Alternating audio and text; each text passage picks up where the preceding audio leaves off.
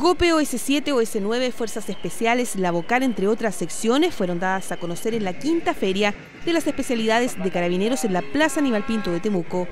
Fueron más de mil las personas que visitaron esta feria que buscó proyectar la imagen de Carabineros de Chile como una institución proactiva y cercana a la comunidad. La feria contó además con un stand de postulaciones en donde se dio la posibilidad de inscribir a quienes presentaron interés en postular a la Escuela de Formación de Carabineros. Y esto básicamente es para también acercar a los jóvenes que a lo mejor tienen dudas de, sobre qué estudiar, ofrecerles una carrera, que es una, institución en la cual año a año ingresan aproximadamente 1.600 carabineros y postulan alrededor de 7.000, así que entre más postulantes tengamos, mucho mejor va a ser la calidad de los carabineros que tengamos el día de mañana.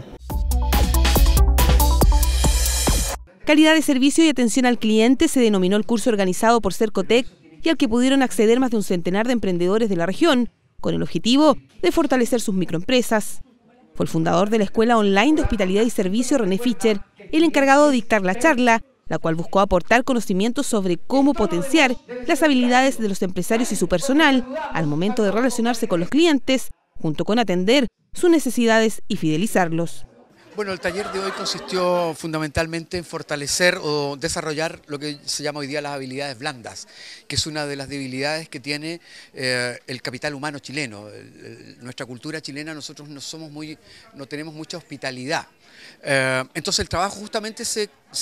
centró en eso, en la relación con el cliente, en la importancia de la actitud, del lenguaje corporal, del tono de voz, del criterio, de la personalización en la atención de los clientes. Eh, aprendimos mucho de él, es muy didáctico, muy entretenido, todo el rato nos estuvo despierto, así que bueno, nada, cuando hablamos de hospitalidad, la verdad las cosas es que es un conjunto de mm, actitudes y que tenemos que eh, trabajar eh, mucho para eh, darle, digamos, el bienestar y la satisfacción que se pueden llevar nuestros visitantes, nuestros clientes.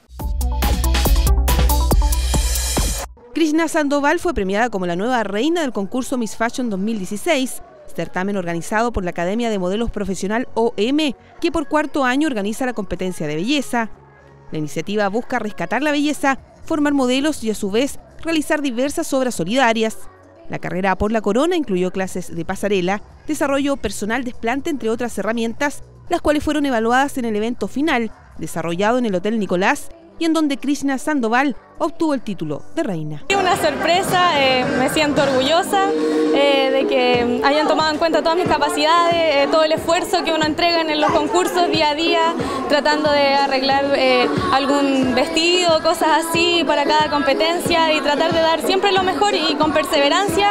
uno puede lograr grandes cosas. Estamos contentos de que nuestro concurso Miss Fashion en Temuco tenga la proyección en Women Fashion Style, evento más importante de moda en Chile, animado por Cecilia Boloco, Juan Sastre, auspiciando todo esto para dar oportunidad a las chicas de Temuco.